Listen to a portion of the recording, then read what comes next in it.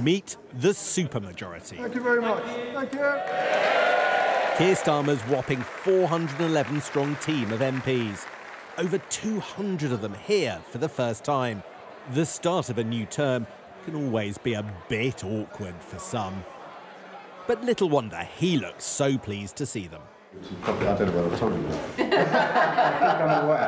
It's been a day of handshakes and small talk for the new Prime Minister. A visit to Stormont, the second stop on his tour of the nations, promising leaders here a new approach and a better Brexit deal. A different relationship with the EU, a different way of doing politics, and we go forward in that spirit. Hello, First Minister. From Hamdar. Good afternoon, Prime Minister. Then to Wales, wrapping his arms around a Labour First Minister who lost a confidence vote just weeks ago. Here in Wales, it's particularly important because what I said before the election is that a Labour government would be a game changer because you would have a UK government working with the Welsh government delivering for Wales rather than the conflict that I think we've seen too much of um, over the last 14 years. It's not just the Prime Minister not pausing to draw breath. The whole government came to look hyperactive. There's the Chancellor's speech on growth, the Foreign Secretary in Europe, the Defence Secretary in Ukraine, the Health Secretary meeting the Dentists Union, and the Home Secretary out on the beat. Thank you. That kind of public reaction doesn't tend to last long into government. And the reality of ruling is harder than photo opportunities. Prisons are near breaking point. Will criminals be let out early to ease the crisis?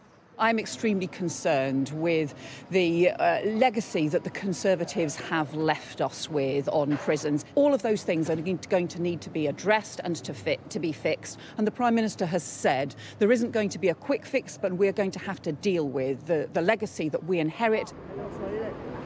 After a straightforward campaign, now Labour wants you to see a flurry of activity.